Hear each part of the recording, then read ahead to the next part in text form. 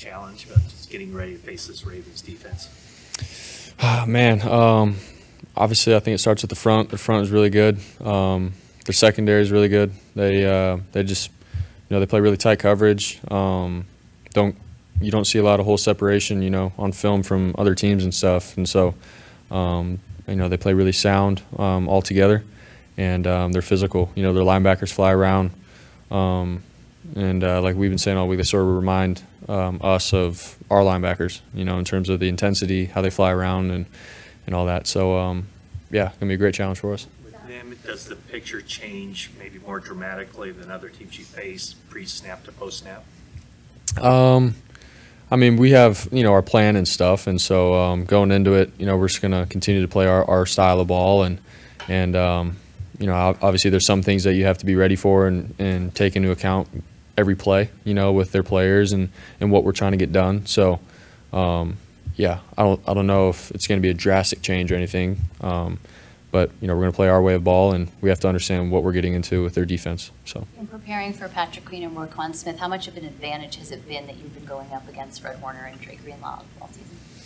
Yeah, I mean, um, obviously dating back to camp and stuff, we got some really good reps against them, and you know how they play, their drops, you know how aggressive they are in the run game, all of it. And so, um, you know, I think for us, we understand, um, you know, sort of you know how linebackers that you know fly around and, and play and that are smart like what it looks like you know going against our guys and stuff so um, but at the same time you know um, you know they're a little bit different in how they do play um, there's some similarities but you know we got to just go in and, and, play football and and uh, we'll, we'll, find out on Sunday so or Monday night you played playoff games here in the past so are you expecting kind of that same atmosphere and and did those help you of a game of this magnitude where it's going to be such national spotlight on you? Um, yeah, yeah. We played some playoff games and stuff last year. That was you know good for all of us and our experiences and stuff. Um, in terms of you know some home games that are you know um, some big games. Um, but at the same time, I feel like you know we've played in some pretty big games already this year, and um, it's the NFL. I feel like guys are or people around the country are always tuned in. Um, at the same time, it is Monday night. It's on Christmas, so those are all little things that you know get added to the table. But I think more than anything, we're excited for it. You know, so. If you had to make the case for Christian McCaffrey to win the MVP award, what would you say on his behalf? Yeah, um, you know, sort of like what I said before. Like he's he does it all. Um, you know, I think he's the reason why like our our pass game and, and our play action pass and all that kind of stuff opened up because you know he's he sort of sets a standard with the run game. Um, and then when we do pass the ball, he's there in, in in our play. And he catches the ball, he makes guys miss. He can go up against safeties and linebackers, um, and you know make them miss and stuff in the pass game.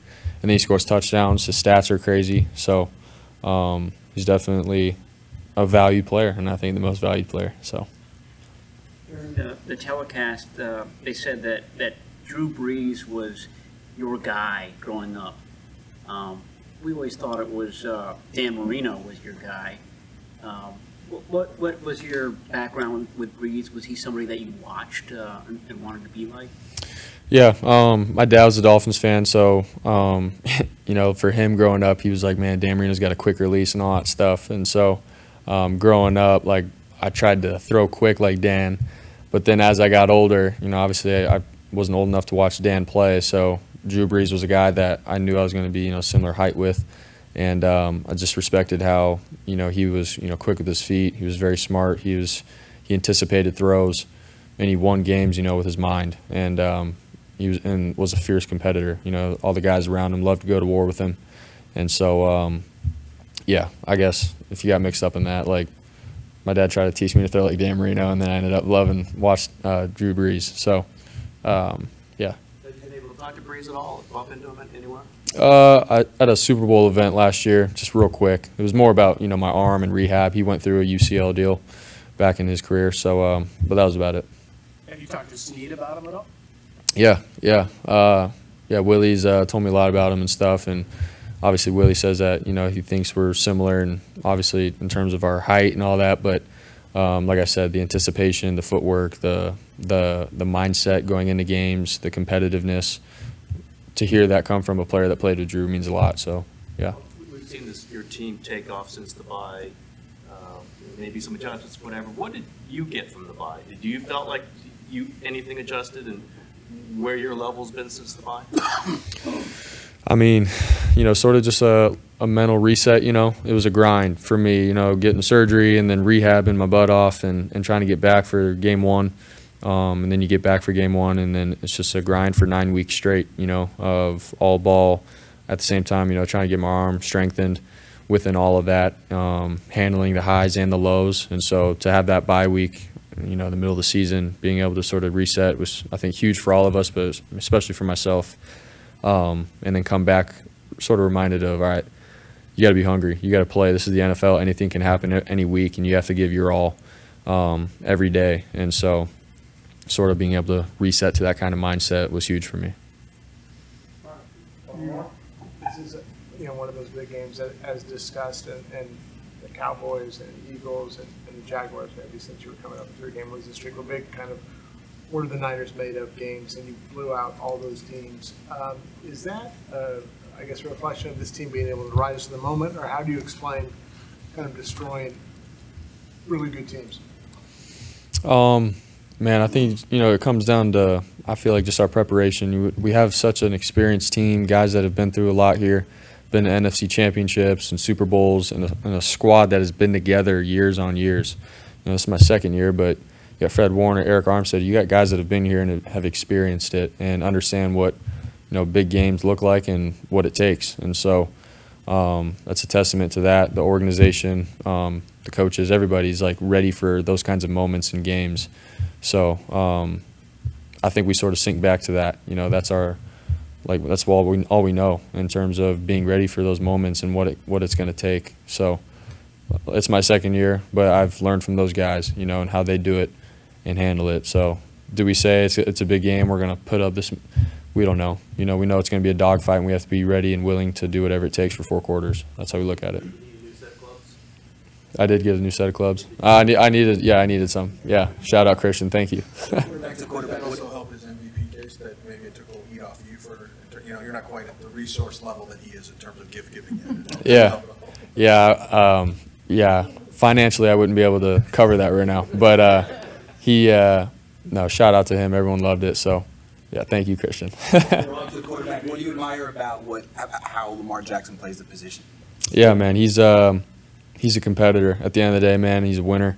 Um, he's gone, gone into that place and you know just has given them life. You know, since he stepped foot there, his rookie year. Um, you know, obviously his playmaking ability, being able to throw the ball, and then you know just at the end of the day win. He's you got to respect him and what he's done.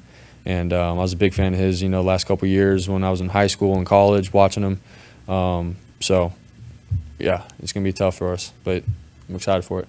Rob, with Monday being Christmas, when do you tell family and, and friends, you know, or when do you turn the page and switch gears to start focusing on the game?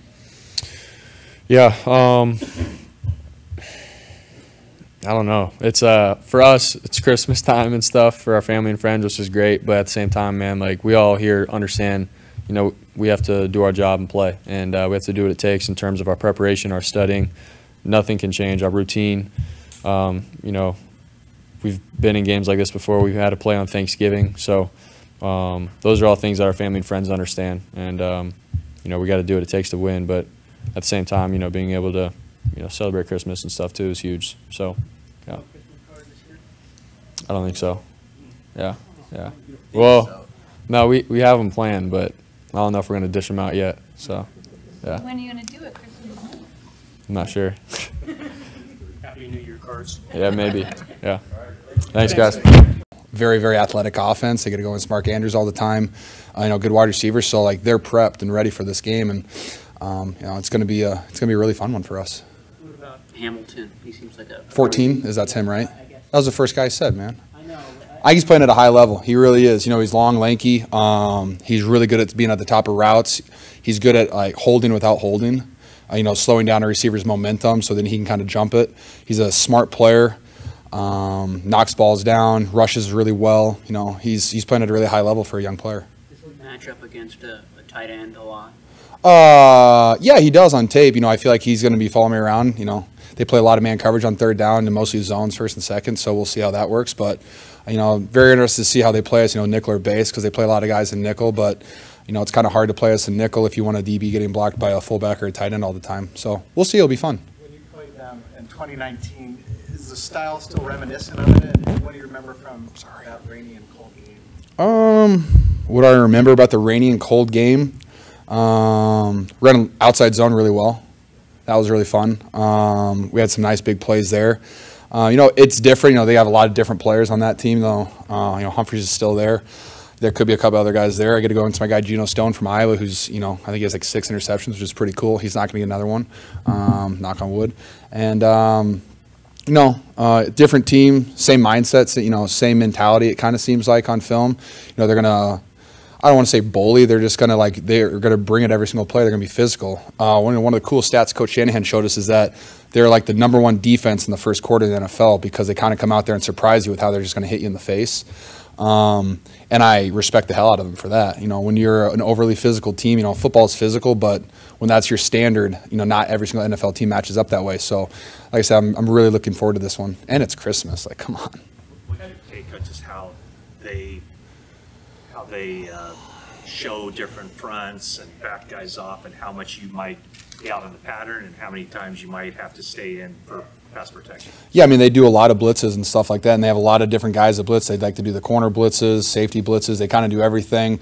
They show like they're bringing a ton of pressure, and all of a sudden they'll drop eight. Like, they do a really good job with that stuff. And, um, you know, I like our game plan for that. You know, we've done a lot of stuff. Um, you know, early in the season, I felt like, you know, I was in protection a ton against certain teams because of certain edge rushers. And, well, I'm not going to say like they don't have you know, Nick Bosa, TJ Watt on the outside, they have five really, really good players that can rush. And so, yeah, we have to handle them. You know, they try to get a lot of one on ones for their players. They have a guy who has, what, at least half a sack in 11 straight games. So, yeah, there's they have a lot to handle on that defense. Um, you know, I feel like we do a pretty good job versus pressure. And like I said, I, I like our game plan. Um, I think they, they, Coach Shanahan did a really good job of giving Brock options and, you know, kind of mixing in, you know, everything from, you know, extra protection to, you know, winning on your hot routes. Have you ever felt this good in week seven, physically in week 16 of a season? Yeah, I felt better. I have, but you know, still playing at a high level and you know, grind every single day. oh man, I love that. How's, how's your how's your and uh, were you surprised to get the gift from your next door neighbor? Oh, you know, uh, he told me earlier in the week that he was like, I, you know, I, he was like, I got a good gift for the whole offense. I was like, oh, nice. He goes, well, I hope everyone likes it. And it's like, oh, I mean, fitted clubs with a custom bag, man, and a bottle of tequila. I'm not gonna be upset about that. I'll wait till I get home for that. But almost wanted to open that, did not. But yeah, it's pretty. When you have a guy that's like, because you don't have to do that, you know, and it's just it's a really cool gift to get for the whole, you know whole offense. Um, and it's just it's it's really fun to be a part of a team that has guy has guys like that that are willing to do that, go out of their way. I mean, that's a it's a pretty cool gift for Christian to get for everybody, especially fitted clubs. That's awesome. I have a Christmas question. For you. Ooh, hit me with it, Tracy. So I have been asking all your teammates who on the team would make the best Santa, Mm. and right now you and Jake Brendel are kind of in a runaway tie. So The two the like to know who two the two partial gingers. That that's awesome. Um, we both got red beards. I can say that, right? Whoops. Um, well, I appreciate that. You know, I'm pretty jolly. I will say that. Jake's got the he's got the body for it. That's a compliment. Um, I think Trent Williams would be a great Santa, personally. Um, just he's the the biggest, whitest smile of all time. Just him with a white beard would, would be great. Yeah.